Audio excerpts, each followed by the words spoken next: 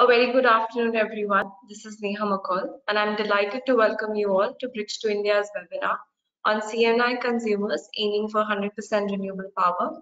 Corporate renewable market is going through a fundamental shift, and many consumers are pledging to achieve net zero and charting out the roadmap to increase renewable penetration.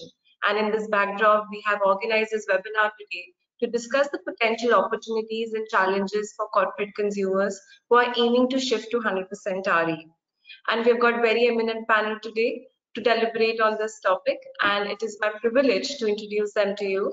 We have with us Mr. Animesh Jain, Director and Finance Head from Cipla, Mr. Animesh Sharma, Head of Business Development in Hero Future Energies, Mr. Dheeraj Malani, Chief Growth Officer at Oriano Clean Energy, we have uh, Mr. Sai Charan, Technical Director at Jinko Solar. I welcome you all today to this session and thank you so much for taking out time and joining us. Also, we would like to thank our sponsor, Hero Future Energies, for supporting uh, this webinar. We'll start with a brief presentation on C&I sustainability landscape by Mr. Animesh Sharma from Hero and followed by the panel discussion, which will be moderated by my colleague, Ms. Sangeeta Suresh, Associate Director, uh, Market Intelligence from Bridge to India. So today's webinar will be an hour and 30 minutes long, and we will be taking questions towards the end. So do send us your questions uh, in the chat box located at the bottom right corner of your uh, webinar panel.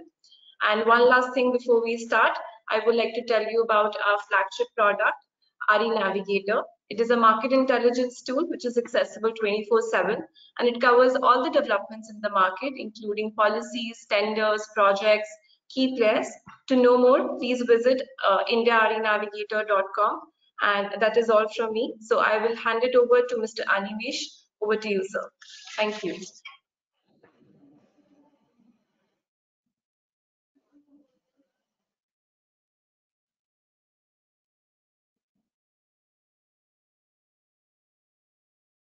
The floor is yours, Animesh. You can take over. She just froze. Hi, hi. Good afternoon, everyone. Thanks, Neha. Thanks, Sangeeta, and thanks, Bridge to India, for organizing this seminar. It's um, it's quite a important and vital subject to touch base upon in the present context of things. Um, hi, everyone. I'm Animesh. I am working with Hero Future Energies, and I lead uh, their business development initiatives uh, across all renewable energy markets and technologies in India. So uh, today we are just going to touch base quickly upon the road to RE100 and how it's important from the point of view of C&I sector, right? Uh, it's a very important sector. Uh, this is going to be the presentation flow. I'm going to quickly touch base on who Hero is, um, who we are as Hero Future Energies. I'm going to put things about the entire energy sector from the C&I perspective. Uh, we're going to also touch base upon what are the RE options available us today from the technology side of things. Then we'll take a deeper dive onto the roadmap that we that I possibly see towards 100% RE. Uh, last but not the least, we'll be looking at hurdles and enablers before we move in about how Hero Future Energies is positioned to help our C&I customers make that transition to 100% uh, RE. Audible? Yes. Okay. Um, so, ladies and gentlemen, uh, we are part of the we are Hero Group. Uh, it's it's a seven billion dollar plus group with interests across automotive, manufacturing, um, financing, electronics, and renewable energy. Um, you know, we are one of the world's largest two-wheeler manufacturers uh, through Hero MotoCorp. We have our you know own uh, non-banking financial corporations with Hero FinCorp. Uh, in the consumer electronics division, we've got Hero Electronics. In education, we've got Hero Vired auto ancillaries have Rockman uh, Industries, where we make die casting uh, alloy wheels for two wheelers as well as four wheelers today. And uh, Hero Future Energies, that's the company that I represent, uh, is the renewable energy arm of our group. So that's our brandscape. Uh, Next. Thanks. Okay.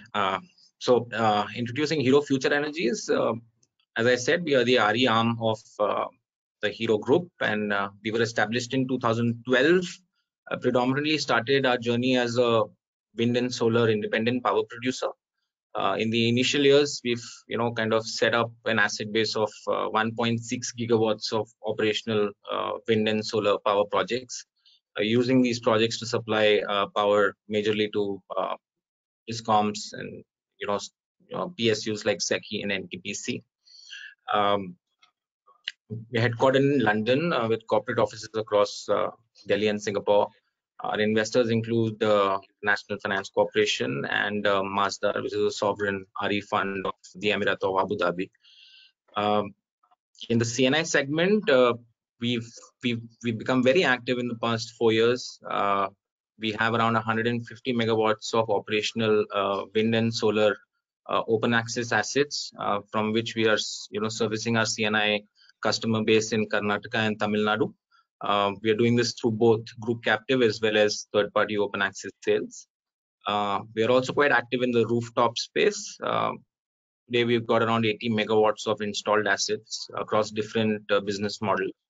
So that's a little bit about what Hero Future Energy's journey has been like. Uh. so now uh, taking on to this most important part is the next slide which is putting the energy usage of uh, the C&I. Yeah, thanks.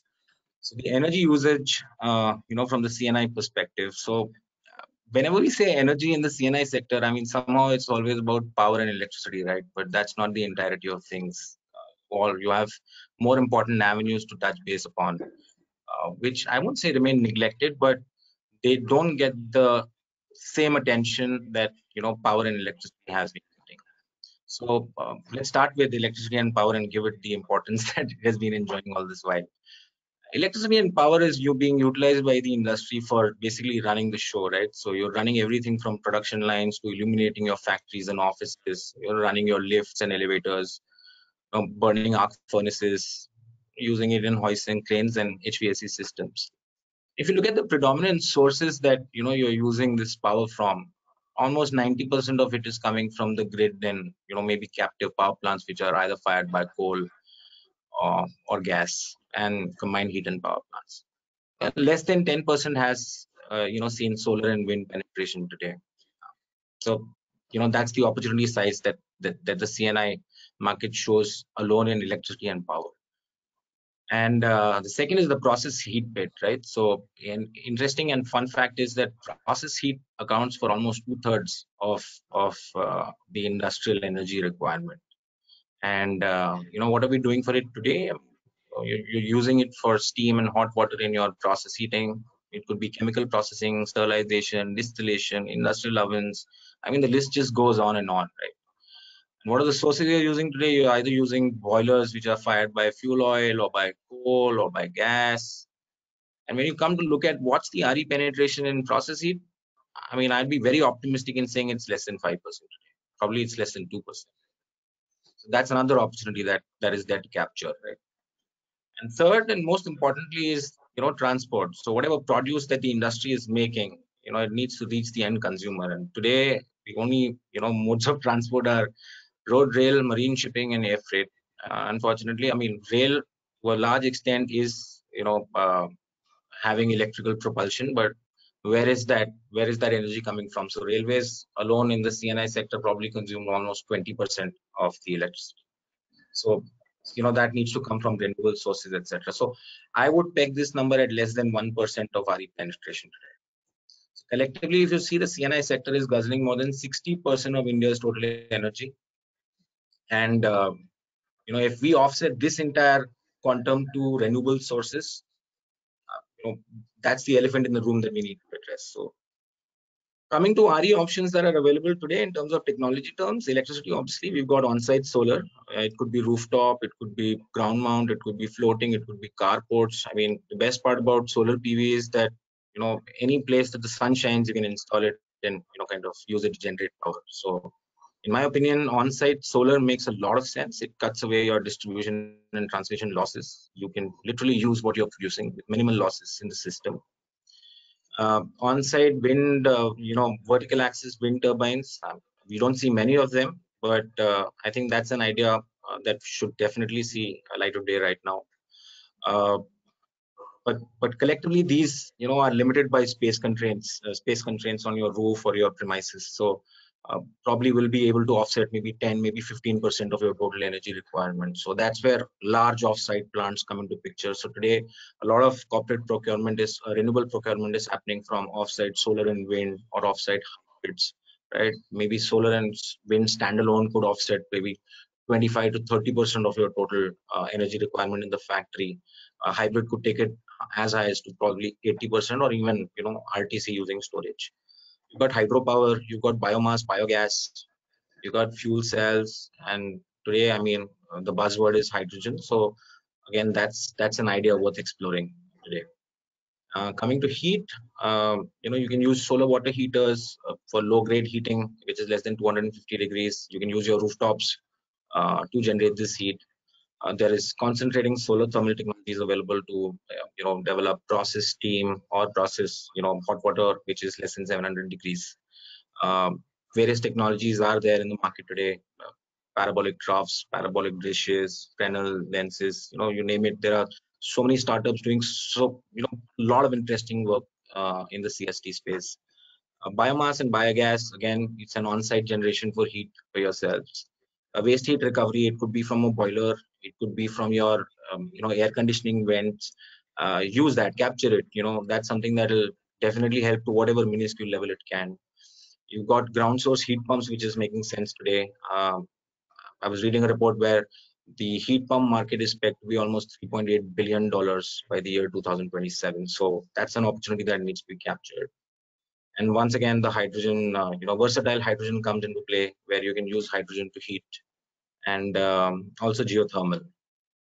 Coming down to transport, your options are not manifold, but they're interesting options. We are seeing a lot of activity happening in the EV space. So battery operated EVs definitely are a, is an idea whose time has come today.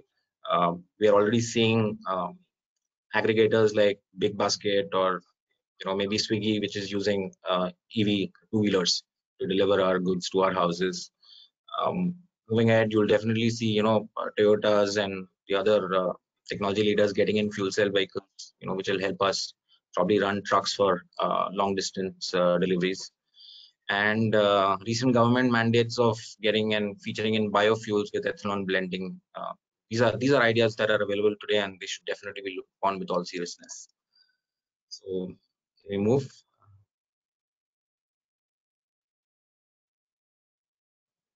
Yeah.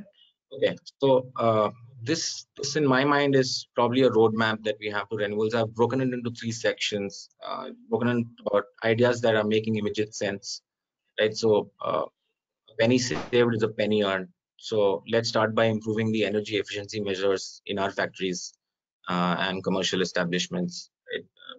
If you do an energy monitoring, you'll see there are a lot of vampire loads that are not useful to you, and they are just hogging electricity and you know costing you money and uh, bringing their own level of inefficiencies. Uh, once again, uh, I'll touch base on maximizing on-site energy generation. It could be through solar PV, vertical wind access, solar heating, heat pumps, whatever it is, whatever you can do on your premise is, is probably the best utilization of that premise in terms of energy. Uh, you have offsite uh, solar, wind, hydro, open access, captive, group captive, bilateral. There are various modes. Um, during the panel discussion, we'll touch upon the you know vagaries of each of them. Um, you've got the power exchanges active through which you can kind of at least go for your last mile or peak power requirements which you cannot offset through uh, delivery contracts. You can go on to gtam gdam sorry not delivery contracts but you can go to gtam gdam uh, to fulfill those requirements. Then there are green attributes in which you know you can kind of purchase these green attributes today for uh, power that you are not able to procure but you still have internal mandates of uh, reaching that 100% RE and uh, pumped hydro is also something that is making sense today so that also kind of should be taken uh, into consideration. Ideas which will make sense probably over the next couple of years is electrical battery storage might make a lot of sense in terms of commercial viability. So you'll start seeing uh, you know, lithium ion make its uh, entry in a commercially viable manner into the storage side of things. You'll have flow batteries like redox you'll have fuel cells uh, which will be commercial viable. There are a lot of work going on in fuel cell research and now they are commercially deployed in many countries so india should not lag. Uh, thermal batteries for storing heat and using it at later uh, stages through molten salts. Uh, virtual ppas as i was mentioning earlier so uh, not all delivery-based contracts will help you reach that RE 100. So you will require some sort of an innovative instrument to you know kind of bring that last 20 or 10 percent or 5 percent. And that's where virtual ppas uh, have that opportunity. I think they have the opportunity to spur the entire uh, you know open access market probably inch towards that 450 gigawatt target government has kept by 2030 uh, there are discoms which are coming up with green tariffs. I think maharashtra has come up with something in 2020 albeit they'll be probably a little higher than your conventional tariffs that you can afford through developers like us. But they will you know kind of uh, get away with a lot of vagaries that the discom brings in uh, by itself. So india has got a shoreline of i think so around seven and a half thousand kilometers. So uh, offshore wind will start seeing light of day in the next couple of years. That's something that uh, you know you'll start seeing very high CUF uh, wind plants coming up. That's something that the C&I sector can look at very interestingly. uh, geothermal heat, uh, vapor absorption machines and chillers for cooling applications. And large scale green hydrogen is start, you know, it's going to start making a lot of sense. And um, by 2030 is when, you know, we'll start seeing hydrogen making, you know, the local hydrogen economy starting to make sense. You'll start seeing a lot of distributed green hydrogen through uh, localized electrolyzers installed within C&I uh, premises we start using hydrogen to power through fuel cells. Uh, we will start seeing hydrogen mobility across road, rail, shipping, and aviation. On-site waste to energy is something that will, you know, probably be very economical and more efficient than what it is today. And as I was mentioning, seven and a half thousand kilometers of uh, shoreline. Uh, I'm just waiting for the day when tidal and wave energy starts making commercial sense. So once once a combination of all these uh, sees light of day is probably when uh, you know companies like uh, Cipla and other companies can actually just completely sign themselves off from any carbon emissions in total. So this is this is quite an important slide. And also, what are the present day hurdles that we have, and what are the enablers that the government has either already put in or can put in, you know, to help us achieve this target. So hurdles number one is policy uncertainty, right? Um, I, I think this is something that all developers, off-takers, manufacturers, everyone's been crying out loud. Uh, policy, it's it's the single biggest bane in the industry right now. Access to low-cost capital, uh, you know, because we want to serve we want to serve the C&I sector, offset their energy requirements towards green energy, but obviously, I mean, you know, you're looking at a triple bottom line. So uh, it needs to be done in a very cost-effective manner. So access to low, co low cost capital. Poor health of discoms is another real big problem. I think that's that that's where all these problems spur out of, right? So uh, they don't have money. Uh, we are trying to cherry pick customers, you know, who are who are basically paying them a lot of money. Um, they don't want to let them go away. So that's how these CSS and AS and some random charges, are, you know, they keep on coming. And the problem is there's a there's a serious lack of transmission capacity in the country. If we don't build that, we're truly not one nation, one grid and uh, we also have a high dependence on imported technology today you know i mean for all our technology be it from solar modules to batteries to whatever i mean we are looking towards the east.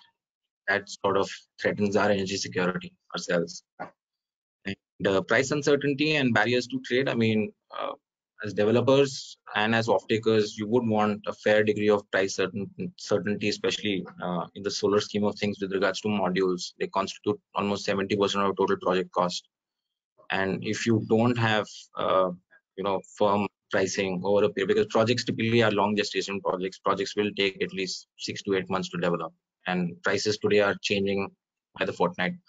So price uncertainty is definitely a hurdle that we need to come up uh, you know kind of cross.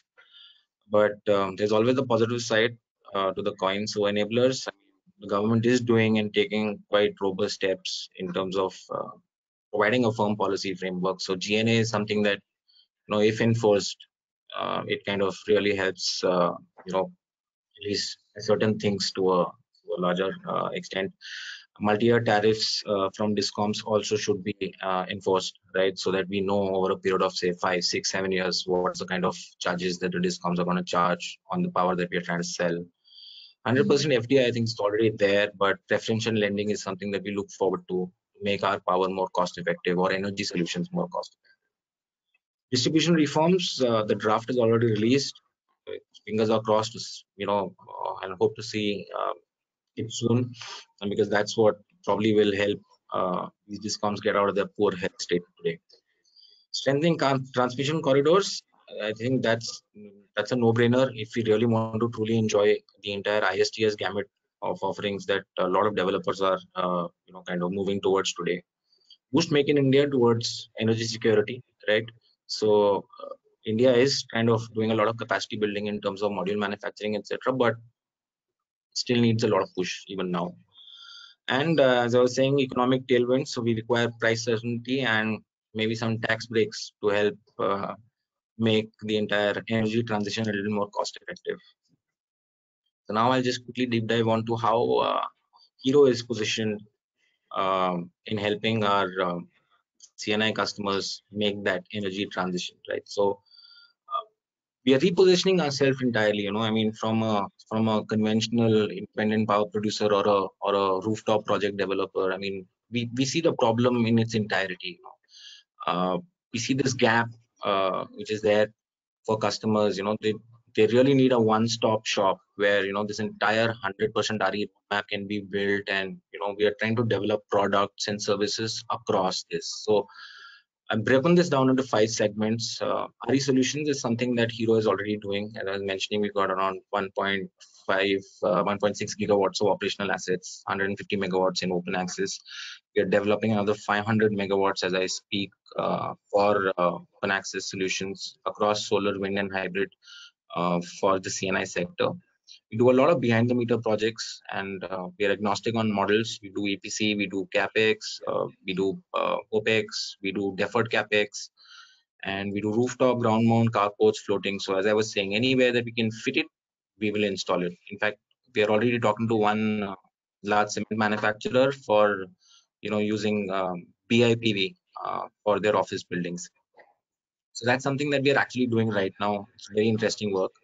Uh, moving on, I mean, uh, that's the future. We are going to kind of uh, start offering round the clock firm renewable supply to our customers.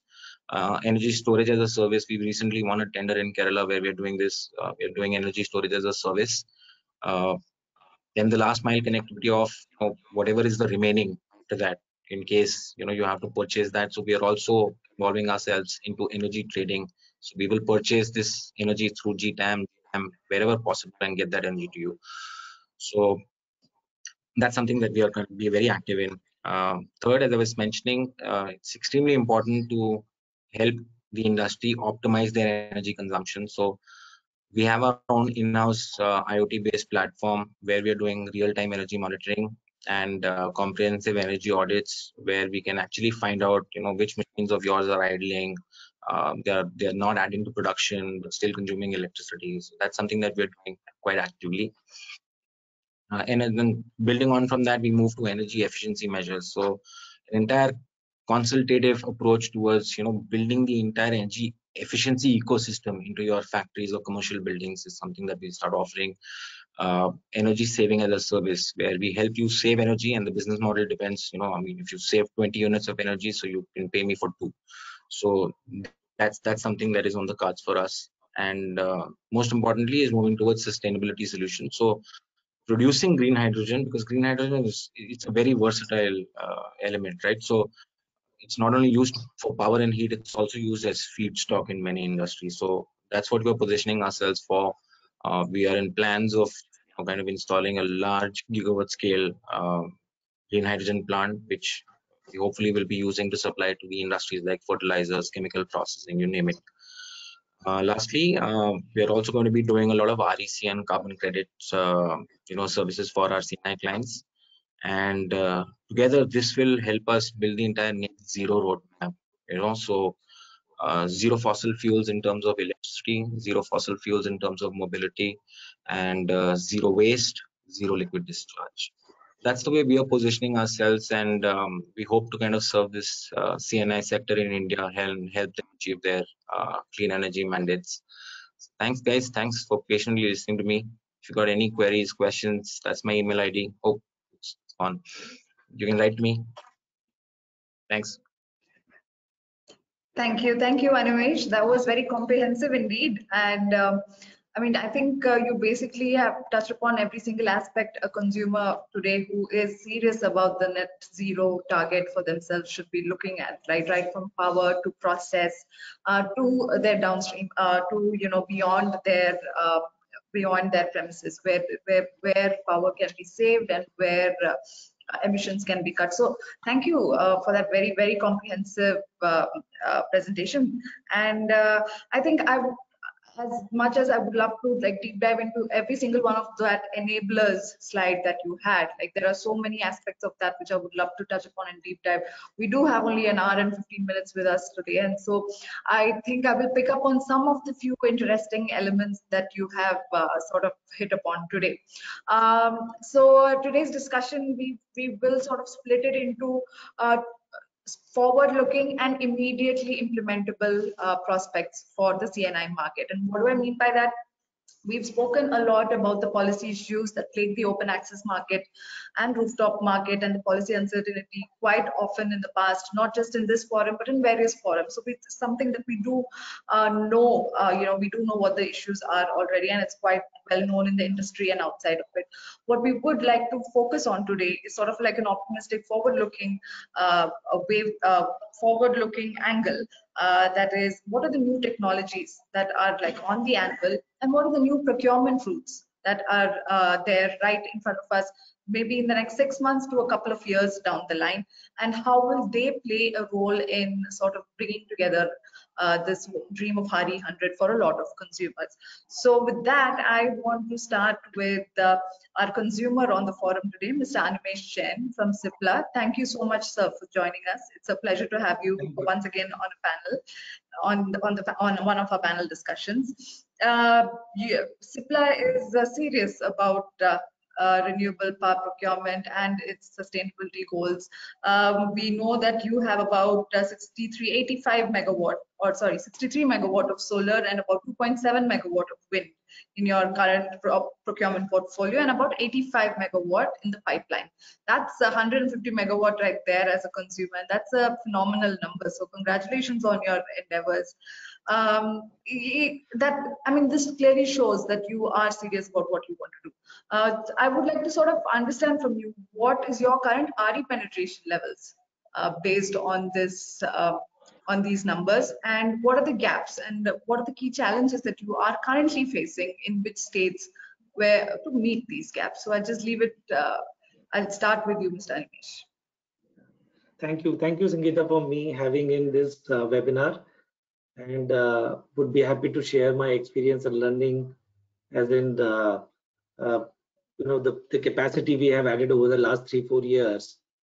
So uh, you know i think you said that the uh, uh, you know the, we are serious about it. Yes the sustainability is a is for something or re roadmap is something for a serious player only. There is not, no doubt in that. One has to be serious enough if he has to achieve the re 100 and with that objective i think uh, three years back we started with the you know uh, uh, making a strategy procurement strategy and looking at the alternative options. Uh, you know and as uh, rightly covered by animesh from hero is that you know i think the multiple aspect have to work a portfolio strategy has to work. Like you know one end the energy consumption has to come down and the other end the energy has to be you know looked at uh, electricity or something you know has to be looked at in terms of alternative uh, power procurement.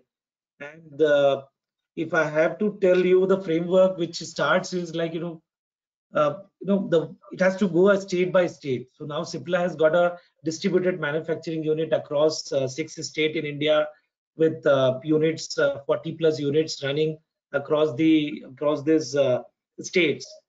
So you know, the state by state you have to go because the regulations have to be studied very deeply see that what fits to the uh, regulation and your requirement. Both the things has to be seen because what works for the steel industry or cement industry or what works for the IT uh, can be different or maybe for pharma can be entirely different. So the consumption end the industry has to be seen the consumption pattern has to be seen. And on the uh, generation side you have to see what are the available sources. There are all source sources are available in each of these state like you know while the wind and wind solar hybrids are limited in the six seven states uh, we have, but you know the solar is available across the India. So we'll have to look at the solution, regulation, and your demand. Mm. That way, there is a strategy which is something which uh, one has to work out. And starting with like you know, as Animesh uh, said that you know, start with the on-site solar rooftop, and then look at what are the physical power where you can take it a open access physical powers, like in a state of Maharashtra, Karnataka, Gujarat, uh, Tamil Nadu, Uttar Pradesh, so all these states, uh, Chhattisgarh, all these states have now come up with the open access policies, which are uh, you know supportive of uh, C&I consumer to look at the open access sources. While there could be a difficulties or the challenges, that's a part of that's a part of this uh, industry or any industry.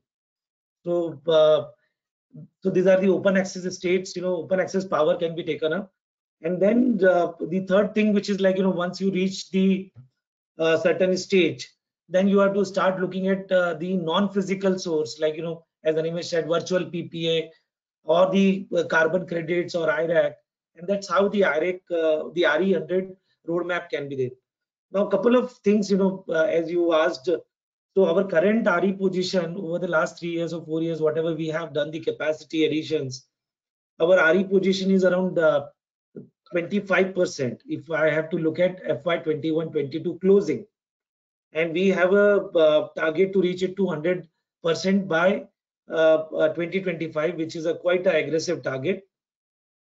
And we are gearing mm. up for the you know, capacity, significant capacity additions to achieve this over the next three, four years. And uh, the other thing is like, you know, at the same time, we are working on the consumption end so, you know, the technology like heat pump or virtual uh, VFDs, upgrading the old chillers, bringing the intelligence uh, intelligence system. So there is a machine learning, artificial intelligence systems are there, which can reduce your chiller consumptions or AHU consumptions to a significant degree. So both the leg has to work because uh, that's how things are there. In terms mm of uh, the other thing which I can say is that uh, uh, this is a this is like you know the RE100 strategy has to be bro broken up in these steps. You can't you have to you know make it a multi-year plan. So say next two years you say RE20, then RE50, and then RE70 and the RE100. And as you move in the RE curve upward, it becomes more and more challenging. RE30, 40 could be a easy easy thing, you know, uh, which can be a low hanging. Then after that, it becomes little steep. And thereafter, you know, once you start hitting RE60, 70, then it becomes really tough. And that's where, you know, the multi-prong approach in terms of uh, multiple solutions has to come in play. The other thing, what if I have to close it, is that uh, again, now what I started with, it has to be a serious game. It has to be across the organization involving the site team, corporate team, and there has to be push from the top to make this happen. So that it doesn't lose the momentum or the energy uh, uh, in, you know, in spite of whatever the hurdles or the challenges we have in electricity sector. That's something which I can share. Thank you, thank you, Animesh. That was your your message is very clear, and I think corporates like you are actually driving the landscape of the of the RE procurement market in India. Initially, when we started, uh, it was uh, driven uh, by policy, you know, where there were incentives. And then that momentum, the incentive momentum sort of picked up when the equipment prices have uh, fell.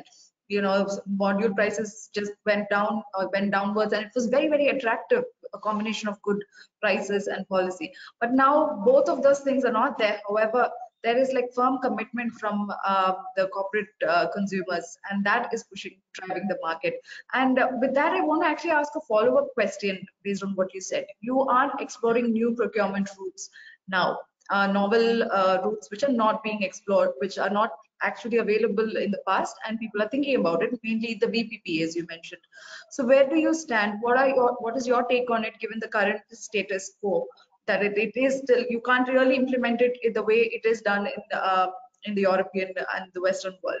So, what is your take on how VPPAs are going to be implemented in the in the Indian context in within the Indian regulations? So, uh, Sangeeta, I think you know uh, as we have uh, next three four years to complete our RE journey, and that's where you know we thought that VPPA can be a solution because there are limitations the state regulations, uh, you know, the limits the open access capacity or, you know, uh, the your consumption or banking uh, consumption pattern, generation pattern, banking rules. Those are the limitations that, you know, even for the states like Maharashtra where open access are allowed, one cannot go more than say 67 or 70% in case of solar or wind solar hybrid also, maybe a bit higher. So there is a there is a gap coming in that respect. then there are states like, you know, uh, like we have presence in Sikkim, we have presence in uh, uh, Himachal Pradesh, Mm. and some of these places we have limitation in terms of open access. The options to do is the uh, when I say open access is intra-state. Now the option is to do the ISTS, but in terms of ISTS there are again limitations in terms of 15 minute block settlement and the capacity and your connected voltage and other things. And maybe ISTS can work for the cement and the uh, steel industry better, the large scale. But company like us, which has a distributed footprint and a Mm. discrete manufacturing, uh, in a sense that we have batch changeover, the load keeps varying. So then there is a limitation in terms of ISTS. So looking at these limitations, if we have to go with the RE100 journey, journey, we have to look at the what is the non-physical source, which is like you know VPPA, which allows you to do the uh, offset. Now here it is important is that one two options are mainly available. One can go and buy the carbon credits or IREC, RECs from the market, but that's I really don't call it as a sustainability because it's not coming up with the principle of additionality. And I I call it as like you know you have money and you go and buy the RECs from the market. More of a greenwashing, not in a true sense, but yes, for me it's a greenwashing. If you have to be in the sustainability game, then it has to be a long-term and serious commitment, and that's where you know VPPA can you know help us you know with the additionality principle, non-physical power, where you get the RECs. Now the challenge here is while the uh, VPPAs are a prominent tool for the developed nations like US, Europe, and other of the countries, a lot of corporates, global giants, and a lot of uh, pharma companies have also tied up for the VPPA for their RE journey. But in India, there is a limitation because mainly there are two things which is involved in a VPPA contract. One is the uh, bilateral trade of REC, which the project generates. The other is the financial settlement, which is like you know contract for difference, which is a standard terms in VPPA. Now this contract for difference, which is a financial settlement between the SPV holding the project and the uh, consumer who is getting the benefit of RECs or RECs. Now the issue is that this financial settlement falls under the derivative, you know, in a definition of derivative, and there are limitations in terms of uh, uh, you know uh, prevailing rules on Security Contract uh, Regulation Act, and that's where this financial settlement becomes an issue. We are trying out with couple of you know IPPs and the, their their investors to look at that you know uh, instead of doing a we will will we, we can can we try out uh, like you know simple REC purchase and we make a capital investments in the SPV we become a equity partner in the SPV so that our additionality further gets strengthened the partnership further gets strengthened and the long term commitment can be seen. And then the SPV which is making a profit or the earning can can the pass on the benefit in terms of uh, interest or dividend to lower the REC cost I- or Hmm. IREC cost. So that's how uh, we are trying to do. This is like you know pure. No, this is not a CFD. This is a simple REC purchase, but at the same time, the IREC cost has to come down. The the IREC price currently you know for such contract are quoting in the range of say 60, 70, 80 paisa, which Hmm. adds to a significant cost base for the consumers and can become a deterrent. So can this be IREC cost be lower down? Maybe my guess is uh, as low as say 10 paisa, 15 paisa for Hmm. something like you know by modeling the some of the return through the equity route or the uh, uh, dividend or interest or something. So that's what my take is that we are working on some of the model yet to fix on the model. And then the other thing is that once the uh, CFD is allowed, the regulations, like I think there are a couple of task force formed at the different uh, government bodies to look at the CFD options. If that comes in, the option can have that, you know, this contract can be converted into the CFD contract. Hmm. That's Hmm. where uh, we are in the planning stage at the moment. Oh, that's fascinating. So there is the VPPA, the India way uh, that you are looking at. Uh, that's very interesting and novel uh, route indeed. And uh, you've also touched upon what I want to talk about, another sort of a new route, which is ISTS. And I think I'll take this to both Mr. Animesh Sharma and Dheeraj uh, Malani today. Uh, I think uh, we have ISTS waiver, which has come about. I mean, it is not notified yet by CERC, but I'm assuming a lot of players are already assuming the notification will come through because there's a lot of activity in terms of obtaining uh, stage two connectivity uh, by large players for large parcels of land with ISTS in mind. So this work is already in, uh, set in motion. So where are we at? What are the I would like to ask you uh, to elaborate the practical um, uh, practical implementation approach when it comes to ISTS, like starting from the approval side, uh, is going to be a challenge to the consumer side? As Animesh also said, it may not be for all consumers out there. So uh, while it is hailed as a wonderful uh, incentive and that it has the opportunity to sort of really expand the market size, what are the practical realities behind ISTS and open access? I think I'll like to start with uh, Mr. Animesh Sharma and then Mr. Dheeraj Malani can take it over Okay, thanks.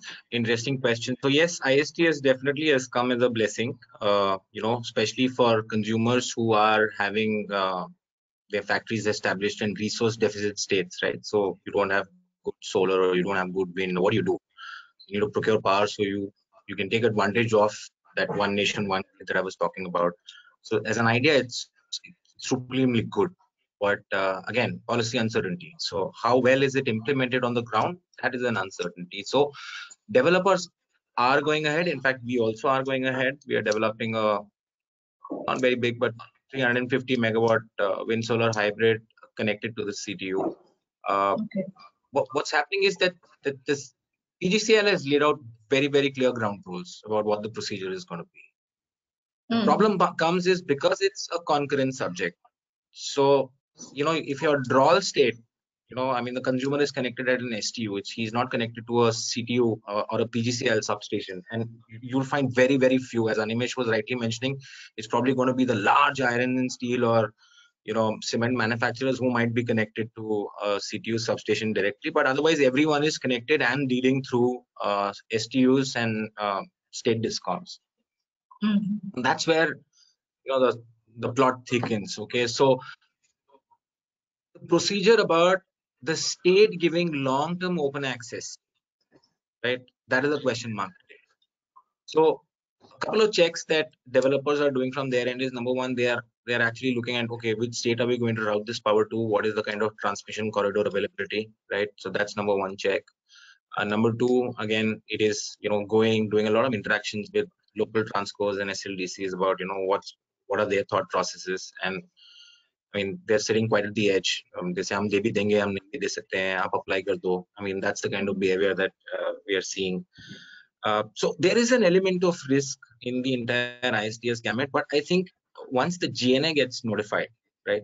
Hmm. Once mm. once once everyone has access to the ISTS above 50 megawatt, uh, and uh, even the STU connected customers have access. I think that's when things will start really clearing up and we will be able to take the true advantage of this, uh, this extremely good policy that the Ministry of Power has got out. And okay. we don't have much time. I mean, the MOP guideline says that all these projects, if you really want to enjoy ISTS charges waiver, is projects need to be commissioned by 2025 June. So there's not a lot of time on the calendar. That is right. But how are states going to react to a lot of in, interstate flow of power? Do you think there will be pushback? I'm assuming. That is quite expected, right? I mean, yeah. I'm telling you, it's the same concept. So they are not conducive to let uh, high-paying customers, um, you know, go the open access, green open access route with the intrastate itself. So here we are talking yeah. about, you know, getting power from another state into your state. So we will see a lot of pushback. I mean, I'm expecting a lot of pushback, but I mean, mm-hmm. as Animesh was mentioning, I mean, these are the risks that are there in the industry and, you know, you have to play around with them. So mm-hmm. The problem is that, you know, a lot of these deals will still go through the group captive route is what, or the captive route is what we're presuming. And uh, Yes. unfortunately, as the scheme is there today, uh, you you don't immunize yourself from the vagaries of the discoms. Yes, the discom Mm. wants, you know, the drawl state discom can still come and slap some arbitrary charge on you. And that's where, you know, this entire GNA gets extremely important because they're very clearly defined what are the charges that you can charge. There's no other arbitrary charge that you Mhm. And from the consumer point of view, you mentioned that uh, this is only going to make sense for uh, uh, CTU and STU. That's what you said, right? And connected consumer. CTU definitely because they, you immune yourself from the state discom, right? I mean, you're directly doing a buy. Usually, all these guys are having captive power plants in some other state, and they're already doing this, so they have experience. Uh, so I don't see much of a problem for them.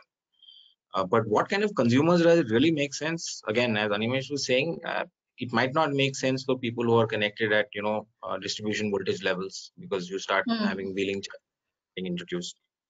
Uh, Hmm.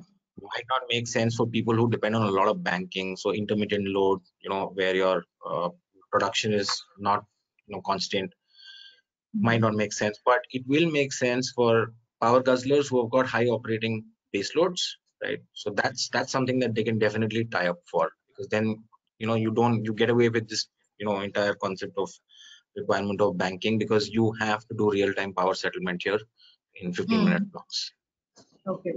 And do you see big opportunity states in with all these criteria in mind, with in terms of large consumers, uh, demand, connectivity, connected to the right uh, CTU or STU? Do you have some states in mind that are likely to jump out as uh, winners for uh, for the ISTS waiver? A couple of states are good. So Tamil Nadu is one. I think they're slightly conducive uh, uh, in terms of their at least uh, transcos uh, who are open to this idea. Uh, there's a lot of power guzzlers. There's a lot of uh, iron and steel happening in Odisha, mining and minerals Mhm. happening in Jharkhand. These are all these are all guzzlers. Uh, Hmm. these are states of interest where you will start seeing a lot of, uh, as I said, high base operating load customers, Maharashtra, Gujarat, Rajasthan, Hmm. Right? And uh, from the standpoint of uh, you know states which are resource deficient, um, so Northeast is one. You know you don't have much except for hydro today. So, but again, it's all it all depends on how well we integrate the entire transmission corridors uh, from say the southern grid to the eastern grid or the northeastern grids. Understood. Understood. That's interesting. So uh, that just sort of brings me also to uh, Dheeraj. I would like to understand. So this is now suddenly become a big players game. Uh, you know, you'll have to sort of invest in land and uh, connectivity in large pockets across various, uh, you know, interesting states like Rajasthan and Karnataka. So uh, where do you come in as a EPC player? What role can you play to sort of enable uh, the ecosystem? for open access, especially in the interstate context. Thank you, uh, Sangeeta, and good afternoon to all. Uh, so as you mentioned that EPC player, how they can act as an enabler for the entire ecosystem. And I think that's the role which uh, me in Oriano is playing and uh, personally also from last 10, 12 years, I'm serving this industry in the same, uh, same way. Whether it was utility, so I was earlier touched upon with the utility segment as well as and now in C&I as well. We have seen a churning happening day by day. And as Animesh mentioned that there are lot many challenges with the ISTS uh, thing coming into picture and working out. But at the end of the day, we all have to make the things works. In what what way that we have to see. So what I see here that a consumer has also first to make their requirement clear and they they have to make their energy security philosophy work in a way they have to work both short term and medium term. It is not like that you have signed a power purchase agreement and that will make you last for another 10 12 years or 15 years or so. In short term also you have also to remain that your energy security for your organization remains intact.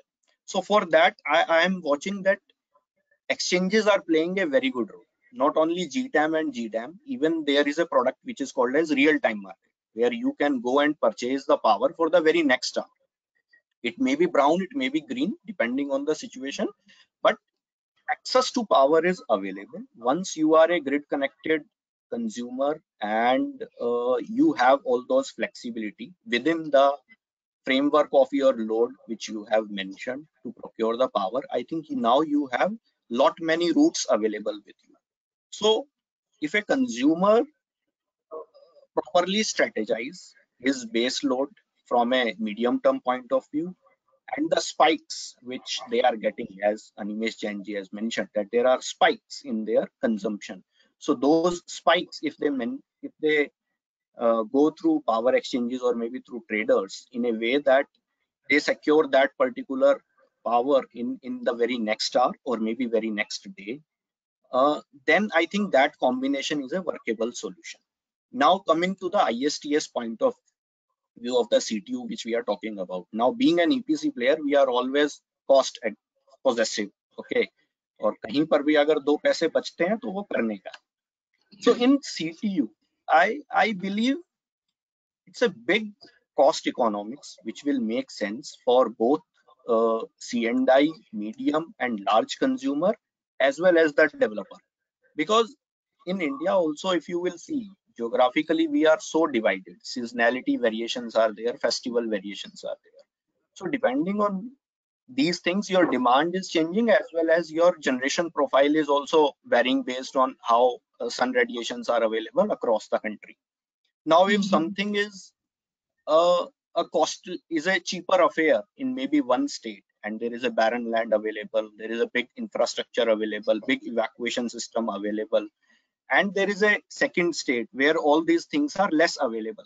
But since the consumer is lo located in the second state, under present scenario, he has to build his captive power plant or maybe third party open access within that state which is not right from a from a natural point of view also we are not actually utilizing the this this natural resource of sun to the rightful extent if we are putting up let's suppose power plant in a state where land is very costly where land is less available where radiations are weak but factories are located there because of some another economic reasons so I believe ISTS is something which will play a critical role in optimizing the cost of the power plant and definitely it will go back to the final consumer only.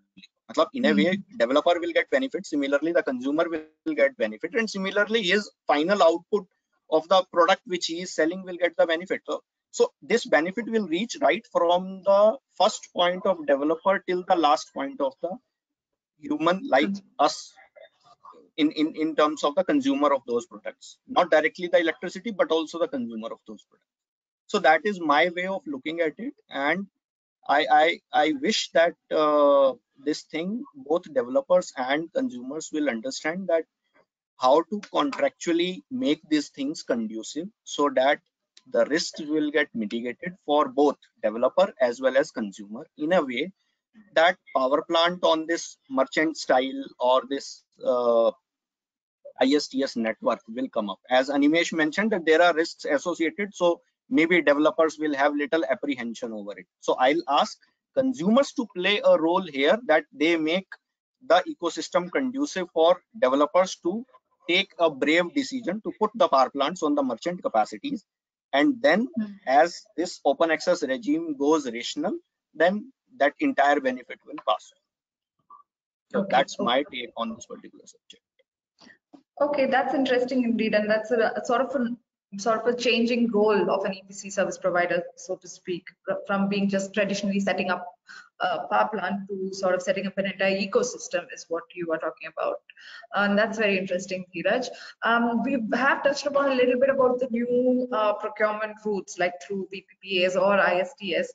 Uh, I would like to sort of now move on a little bit to uh, uh, forward-looking technologies. And uh, that's where I want to speak to you, Sai. So thank you for waiting patiently. we wanted to touch upon the all-important very interesting issue of storage and it sort of really captured a lot of people's imaginations especially in the last couple of weeks with these tenders coming out in Kerala, which uh, Hero won, and then uh, there was the other SECI tender that with JSW won. And if you look at the numbers of uh, at which they have won, it, it, if uh, a very simple math, if we do, it breaks down to roughly nine to ten rupees per unit. That is the cost of power that is being sold. Um, now that in the context of the numbers we are seeing for solar and wind, it seems astronomical. So uh, we do know that you, uh, as part of Jinko, also have a product in the storage market. Uh, you are working with uh, consumers, C&I consumers across the world. Would like to hear your thoughts on storage market. When, when do you think it's really going to make sense in India? And what are the technologies that are likely to uh, get picked up when it does? So over to you, Sai. Hi, Sangeeta. Hello, everyone. So yeah, uh, specific to this particular storage market or any kind of C&I consumers more specifically. So converting to 100% kind of RE, definitely it, it depends on two different aspects because the plain vanilla kind of plain solar or plain wind or a hybrid combination solar plus wind is not going to suffice the requirement of 100%. But yes, there are certain techniques within solar itself if they try to go for high power density and high energy density the kind of Hmm. technology optimization definitely can leverage the benefit in reducing the levelized cost of energy. This is one part of the game.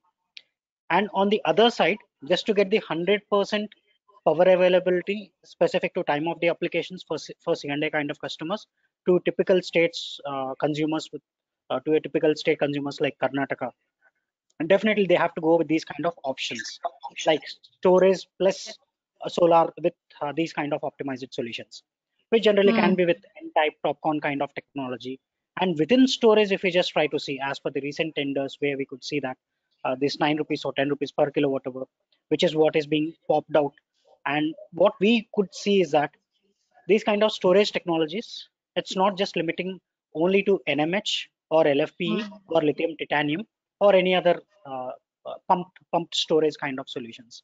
But if you just try to look these particular aspects very keenly, as on Mhm. date the existing technology which is what is there which is completely capturing majority of the market which is there up to 100 kilowatt hours kind of requirement for C&I customers is being Mhm. dominated by advanced lead acid batteries which is the fact but if you're Mhm. trying to move beyond this particular 100 kilowatt hours kind of storage capability if you want to move towards 1 megawatt hour or 2 megawatt hours or beyond that definitely one has to look for these kind of lfpe kind of solutions. Because Hmm. nmh nickel metal hydride kind of solutions is best suited for automobile kind of applications. If there is any kind of motility which is happening yes definitely that makes more sense with the depth of discharge of up to 60% 70% with nmh can be possible. But whereas if we just try to look at the typical applications for a C&I market where in which the constant load is possible uh, for, for textile industries kind of thing. If at all, if we try to look for uh, Cipla kind of zones where in which uh, Cipla kind of industry, where in which the uh, peak load is going to be intermittent and the base load is going to be constant. For these kind of segments, if we just try to see definitely, we have to go with a kind of least possible charge discharge profile battery technology. And for that, Hmm. LFP is, is one such kind of technology, where in which we have provided these kind of solutions within a containerized kind of solutions, starting with uh, uh, 2 megawatt as a kind of continuous power output with Mhm. 5.4 megawatt hour kind of solutions as a kind of con- complete containerized solution, which is BESS. BESS solution, which comes with uh, BMS, anyway, the battery management system along with the battery part with LFP kind of configuration. configuration. Apart from that, anyway, EMS and uh, the PCS, which is completely going to be a kind of comprehensive solution, which is going to be a kind of plug and play kind of mechanism. So that way, these solutions are available. But Yeah. looking at the cost prospects, as on date, we easily could see that as per the minerals uh, website data or the uh, trajectory of these particular prices, as on date, this particular solution is just standing at 300 kilowatt hours, uh, three sorry, uh, 300 dollars per kilowatt hour to 330 dollars uh, per kilowatt hour, which is huge. And Hmm. this this this particular trajectory has to fall at around like 180 to 220 so which is Mhm. what is expected and this should fall down within a span of uh, 8 to 12 quarters kind of timeline and if you just try to look at the trajectory of these particular lithium uh, lithium ion or the lithium mines the kind of Mhm. investment which is what is going to happen on this particular segment is is Hmm. going to be close to around like 42 billion dollar investment by the end of 2030 Hmm. and as on date if we just try to see only 6 6 lakh million tons of lithium extraction is happening specific to this particular segment. And we we are way forward to see this particular value up to 2.4 million tons of you know uh, lithium ion extraction has to happen which means starting from now on yearly basis 6 to 7 uh, million dollar of investment has to happen on uh, sorry 6 to 7 billion dollar of investment has to happen just to just to meet these particular uh, demand guidelines or demand demand capacity specific to storage applications. If at all if we hmm. have a kind of target of meeting 100% re on the c&i kind of segment or on any of the segment. So definitely this this kind of trajectories are there where in which the investments has to meet that particular uh, capacities. So that way we could hmm. see that within a span of 8 to 12 quarter kind of timeline this particular value whatever is there which is standing now at 300 to 330 dollar per kilowatt hour this should fall down hmm. At least to 250 or 230 dollar per kilowatt hour which is what we could see and Hmm. as a Jinko, we are not just only a PV solution provider. Even we we have extended our uh, capabilities in providing the solution specific to these kind of uh, storage kind of solutions as a kind of 100% RE for the ancillary services. And starting from one kilowatt hour, which is what is there with the residential energy storage market, and we provided a kind of solution, which is what we provided for Japanese market, where that's a kind of uh, a good solution where which everyone is is trying to uh, consider those kind of solutions for for just having a kind of 100% uh, compatible enough only on RE power, which, which is which is Mm. completely on solar power or any kind of other applications. So that way we could see RESS is one segment which is untapped in Indian market and which is completely dominated by existing advanced lead acid battery. But slowly and gradually we should see that that is also going to be captured with these kind of LFPE solutions and C&I market anyway is in the mode of whether to go or not to go kind of segment specific to storage applications just because of this particular cost metric probably down the line definitely they have turned towards this which is what we we expect Interesting. So I I just want to understand, is there any interest at all in the Indian market? And uh, even if it's a little bit, would you like to throw some light on uh, sort of uh, what are people looking for?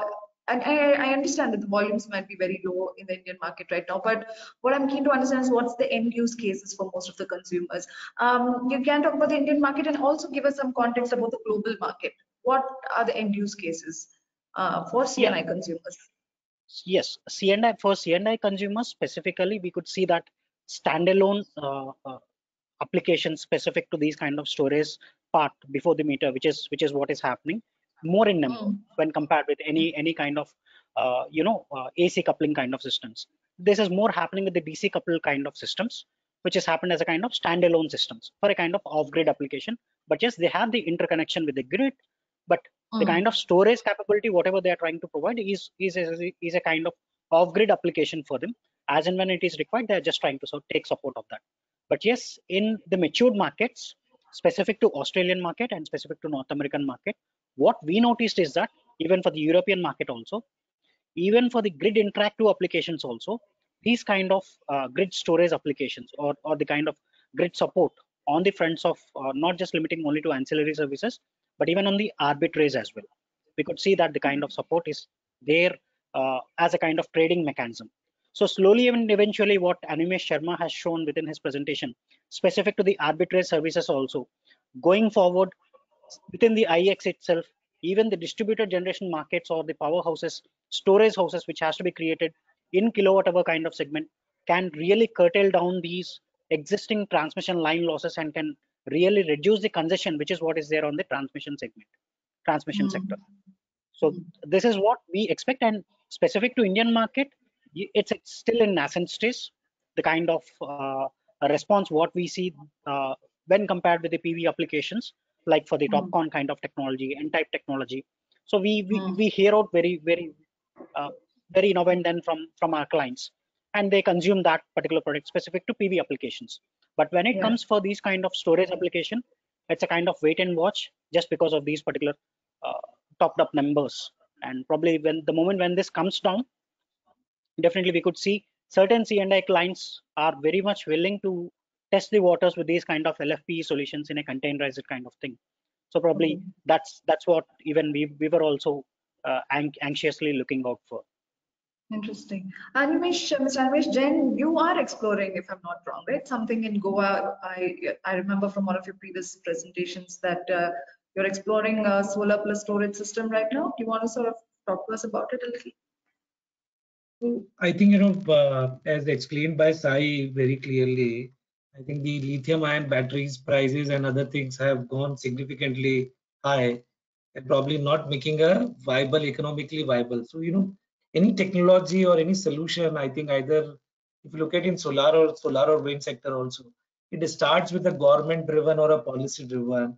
And when it reaches to a economics, of larger adoption uh, economy which basis which you know it can be adopted large at a large scale by C&I then it becomes a market driven or demand driven. What I see that in a storage also it's going to take the same path. It starts with the government driven like you know you see the thinking uh, tenders or other tenders. So it starts with the government driven or policy driven.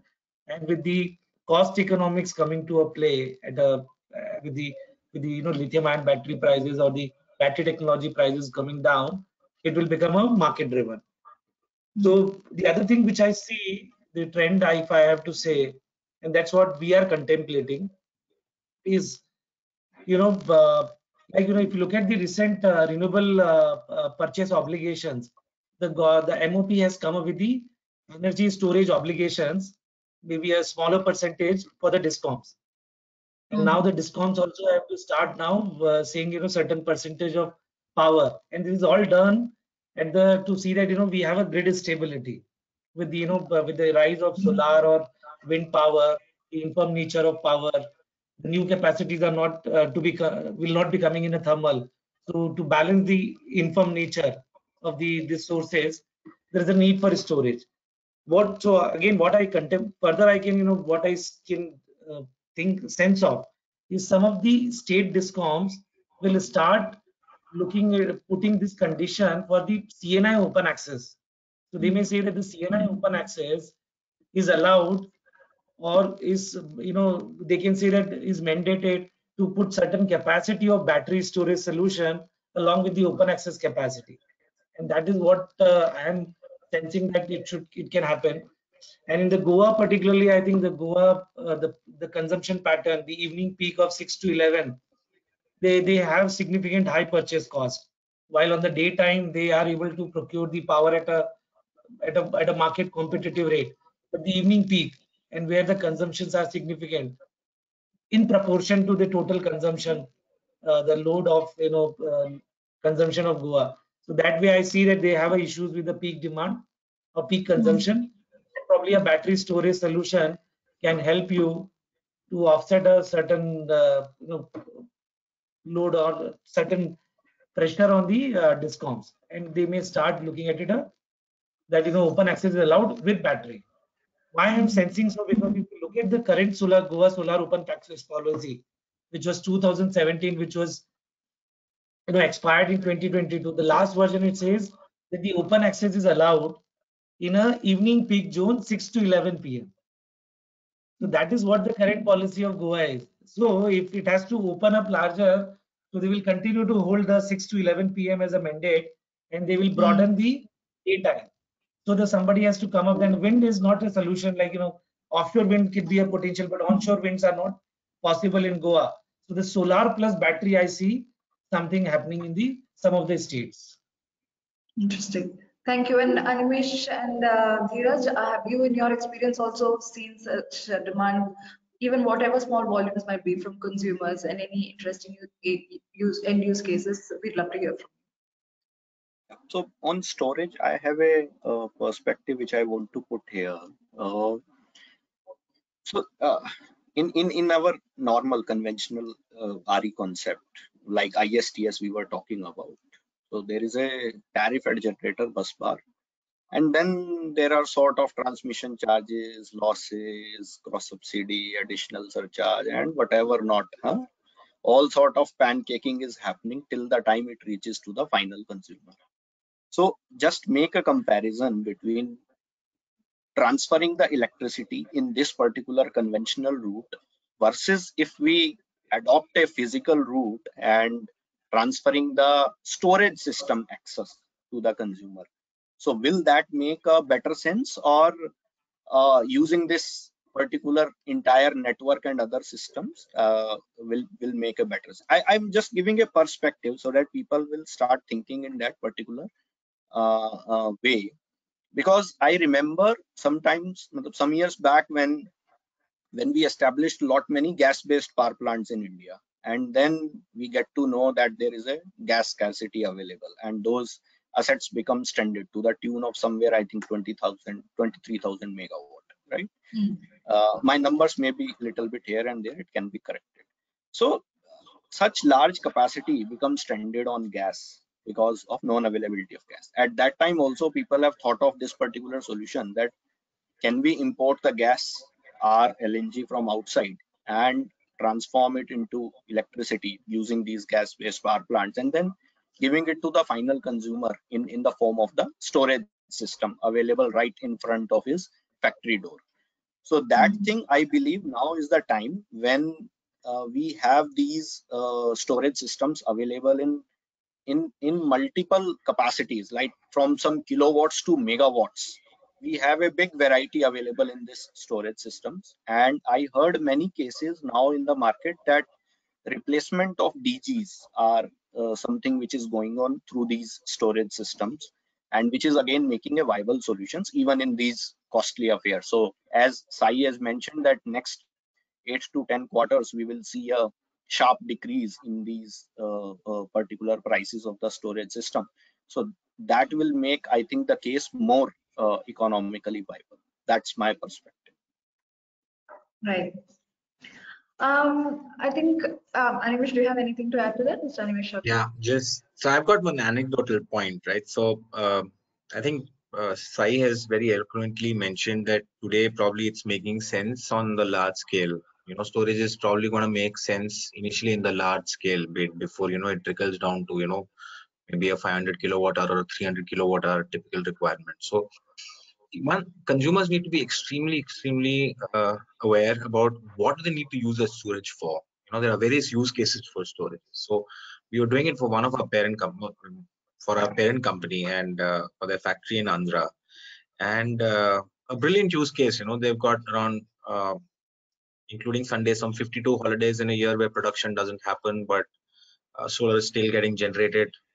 It's more than a megawatt cup plant, so there is no net metering, and I mean that's a waste of energy, right? There's a waste of capital that you put in there. So they were they were quite aggressive and keen on you know exploring an on-site you know storage, lithium-ion storage. Mm. Uh, we did the entire design and you know kind of capacity assessment, etc. But you know, costs today are prohibitively high. I mean, uh, I mean, no C&I uh, unless and until you know they're just doing it, uh, you know, for some um, their consumer side mandate that you know you have to install so many kilowatt hours of energy storage. Probably that's an idea whose time has not come today in terms of small scale storage. Right, so you cannot go and try making a business case out of selling someone a 200 kilowatt hour system or a 500 kilowatt hour system you have to run it into megawatt hours to start seeing some economy of scale. Mm-hmm. So Sai was also putting up that probably you know you're seeing uh, introduction of lithium iron phosphate batteries and technologies coming into picture and change in battery chemistry happening uh, probably uh, as animesh is also quite rightly put there will be uh, you know demand side mandates the government on discoms. That's where you know demand will start spiking up. And it's a mixture of all these things which will get that battery cost into that sweet spot. So today the entire industry is waiting for that sweet spot for battery storage and i think the day that comes then i mean you know storage actually immunizes you so so many problems that you know we are facing today in the market right? So mm-hmm. especially banking. Because renewables by their nature is informed okay? Yeah. so the minute this happens so i think that's the tipping point that we're waiting for. So really really eagerly waiting for the battery prices to correct and you know some new cost effective chemistries in commercial viability absolutely i think i'll just bring it back to what is actually happening right now i would like a quick input about what do you think it means uh, for the existing open access market in the light of the new open access uh, green open access rules Uh, there, it looks very interesting on paper. Uh, you know, it has re reduced the threshold for accessibility to open access to 100 kilowatt. Um, it uh, it allows it asks for minimum banking for at least a month for up to 30% of the total consumption from DISCOM. Um, it's asking for waivers of additional surcharge for green open access um, for green uh, uh, consumers who are availing of uh, renewable energy. So all this is excellent on paper and it looks like it, it really can sort of expand the market by say 10 times and even right now the market is not doing too badly. Our numbers that have just come and show that in the first half of for this year alone india has added about 1.7 gigawatt of solar power solar open access power so that's a lot of open access capacity addition that's happening. So at, the, at this rate, at the end of the year, you're easily looking at a two and a half gigawatt capacity addition. Uh, so even in the current st status, open access is looking very attractive. There are many reasons for this, I'm sure, because there is a fear of ALMM coming in, and so I can chip in to, like, to see how ALMM being imposed on open access can really impact, impact the market. BCD has already uh, led to quite a bit of a short supply. Uh, prices have shot up domestic modules, prices have shot up, modules are in short supply. So we have a lot of policy issues as well. But on the bright side, that there is this green open access rules that have come up. States are yet to notify them. Karnataka has come up with a tentative, like a draft regulation, which is a very interesting sign, and they've adopted most of the rules. So in light of this, eh, what is the outlook for the open access market, the intrastate, open access market? Eh, is it really going to uh, uh, really going to increase substantially in terms of market size, or uh, do you think there will be substantial hurdles to overcome? Um, like anyone on the panel to sort of answer this, please. We can start please. with the Animesh. Or, or yes, yes, please go ahead. Yeah, so specific to ALMM, since you pointed out about ALMM. So the major challenge, whatever is there with ALMM is that uh, it's, it's, it's a kind of process verification uh, rather than product verification. So we have certain standards within India as BIS. If we can just strengthen those particular guidelines specific to product certification, along with that product particular product certification within the factory level certification also, if we can complete that particular process, probably there is no need of ALMM. But since we have ALMM as a kind of separate uh, ingredient kind of aspect for just evaluating these particular manufacturers for or for the kind of material whatever is coming into India, and then how how exactly the, the product is being manufactured. It's, it's it's more specific to the standard how exactly they are trying to follow in. And on the fronts of ALMM, if we just try to see, almost the uh, top tier manufacturers already has applied for ALMM, but still uh, just because of the travel restrictions due to COVID. So the, the process uh, of ALMM certification for international manufacturers is not yet completed. And even MNRE is also quite watchful on that and trying to complete that particular activity. And we are hopeful for that.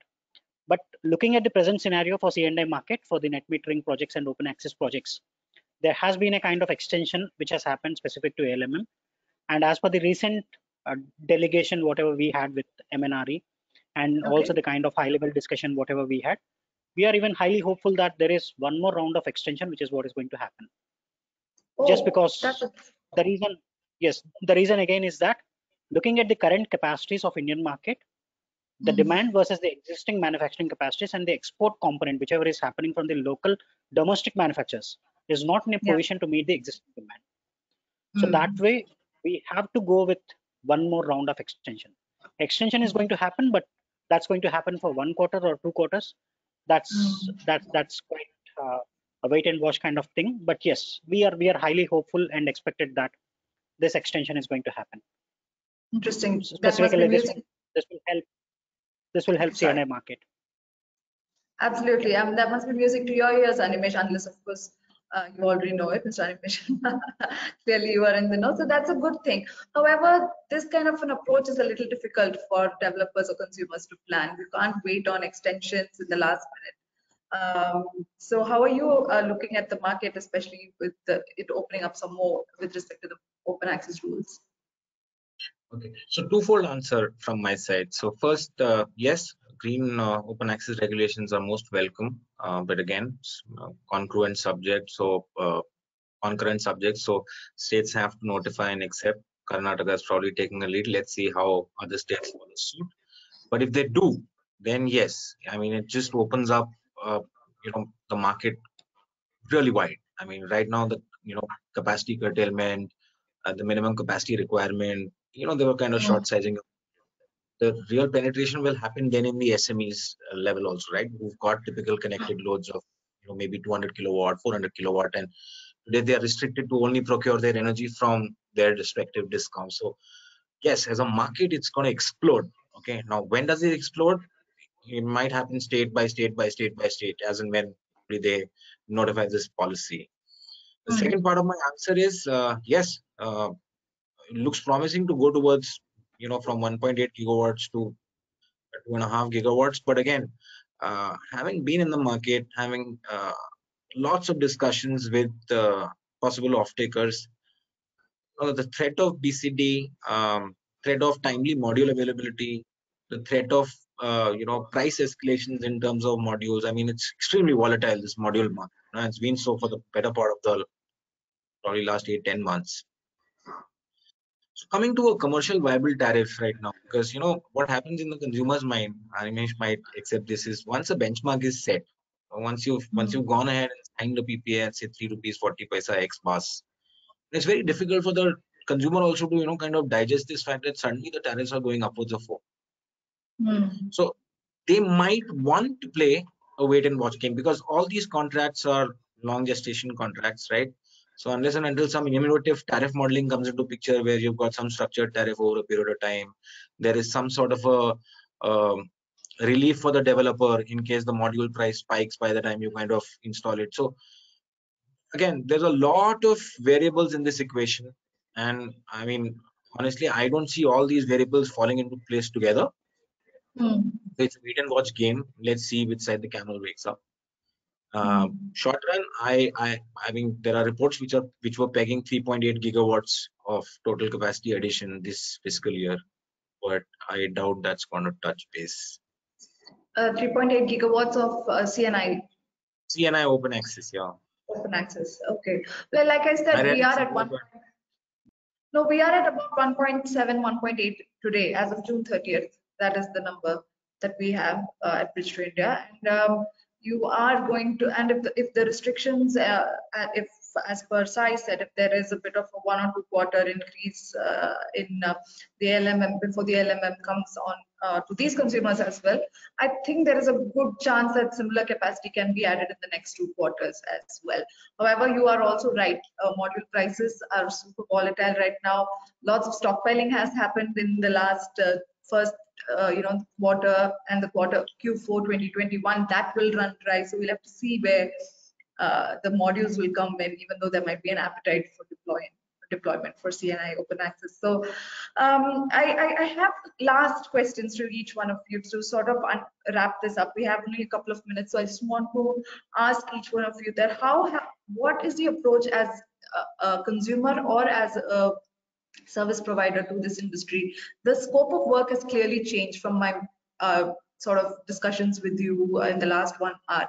Uh, for example, Animesh, you had given us, you, you, you are approaching uh, this segment not just as a power provider, but you're looking at providing holistic services. So if the market, there is a good appetite in the market for that. So I'd love to hear a little bit more about how this evolution is going to go forward. And similarly with Animesh, Jain as well. As a consumer, you are looking at, how are you looking at RE100 at an aggregate company level? Because you are also looking at spending money. You're not looking purely from cost savings. For example, when you're spending IRECs, buying IRECs. So if you can talk to us a little about how the scope of your uh, fundamental business has changed a little in light of uh, the changing paradigms of the industry. Which Animesh goes first? I'll leave that to you. Okay, I'll take it.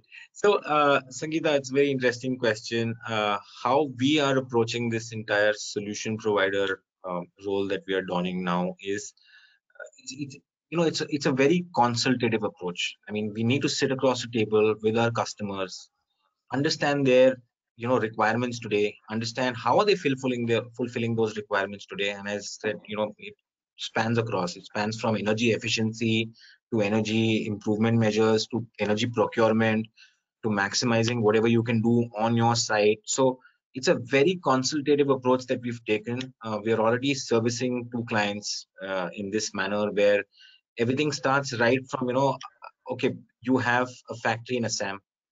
Uh, what can we do with that factory in Assam? So we, we look at conveyor belts, we look at rooftops, any possible place. So extract the maximum out of that site. Okay. Uh, deploy, as I was saying, we have got an in-house IoT platform-based, you know, energy monitoring uh, tool, which you know we deploy there to understand their uh, usage of energy. You know, that really helps you because again, renewables is in for. So the more you understand the consumption pattern, the better you can size your plants. So that's the way we are approaching this, and we've got very positive feedback from our clients also. I mean, they, they like, you know, I mean, it's it's one entity that they're dealing with who's helping them from, you know, you can actually call it from the well to the wall socket. Mm. So I, that is that. I think the industry needs. That was the gap that probably we're trying to fill, and I'm sure uh, the industry will be happy also to kind of get solutions from a single solution. Thank you. I hope that. And, um, absolutely, absolutely. And I think I would like to hear from Mr. Jain right now. Yeah. So, uh, I think, you know, as I was explaining the RE journey, so you will start with a say physical power delivery in initial say RE40, RE30 stage when you want to reach it. And that's where you start saving the money. So maybe, you know, whenever, you know, like, you know, in, for us, if you say we have, we have saved money in Karnataka and Maharashtra in an initial path of our RE journey, what you do is that in an initial path of journey, when you save money, you will be able to, as the curve gets a split, step, then you will have to start deploying some of the, this money which you have saved in the physical power mm. delivery or in state, you will have to deploy it for the larger, for the later part of RE journey. And then you have to look at the overall, uh, you know, are you able to make it as a cost neutral or cost positive? Your RE uh, sustainability as a whole.